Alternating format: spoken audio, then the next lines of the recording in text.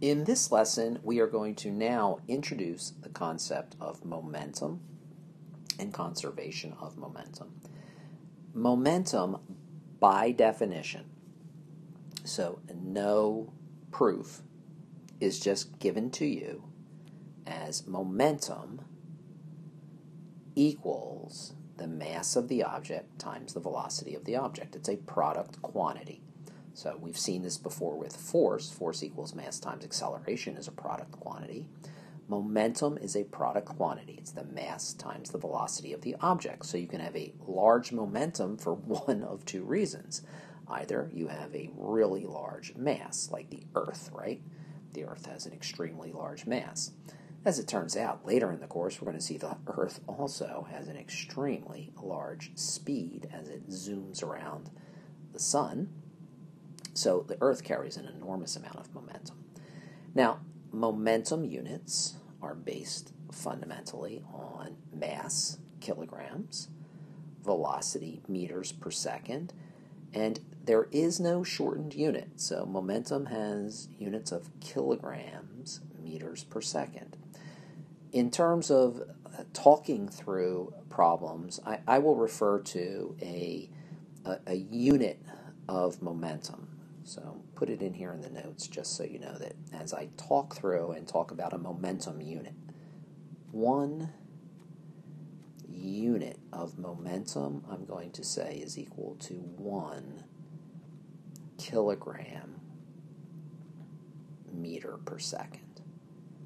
Okay? So it just shortens the, the notation in terms of our discussions. Notice momentum is a vector quantity. That is very important. In fact, it is the biggest notion of momentum that I have found students struggle with in terms of getting problems correct when they go to answer what mathematically is a simple problem but ends up conceptually being difficult if you don't focus on the fact that momentum is a vector quantity. For example, if you take a 2 kilogram object, please put this in your notes.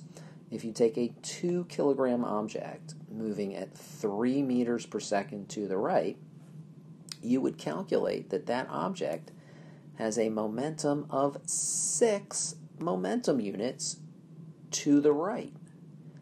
Well, let's take a, another object. Also, a two kilogram object moving at three meters per second. So it also has a magnitude of six momentum units, but now it has six momentum units up.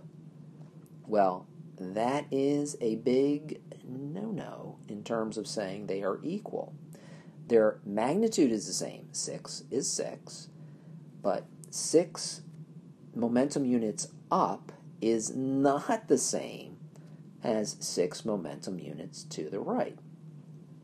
To make the six momentum units to the right be exactly the same as the six momentum units up, what we would need to do is totally stop the particle from moving to the right and make it start moving up at 3 meters per second. Now I can say yes, yes, yes, yes. The momentums are the same. Momentum is a vector quantity. Okay. We know Newton's second law, F equals ma. So that's what I have here. Sum of the forces external equals mass times the acceleration of the center of mass.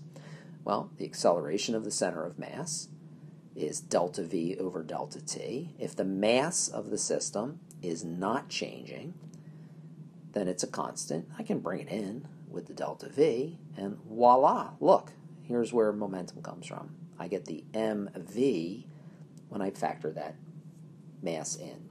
So rather than just use mv and keep saying mv, mv, mv, we've adopted the language of momentum and have called mvp. But now, look, we have a, a new form of Newton's second law what we have is that F equals delta P on delta T. Well, I now have a new way of looking at forces. we have a new way of looking at forces. So if we plot momentum P on the y-axis, and you'll get more comfortable as we go along now in the course talking about momentum and momentum units. If we plot P on the y-axis and time on the x-axis, then what we get is rise over run is slope.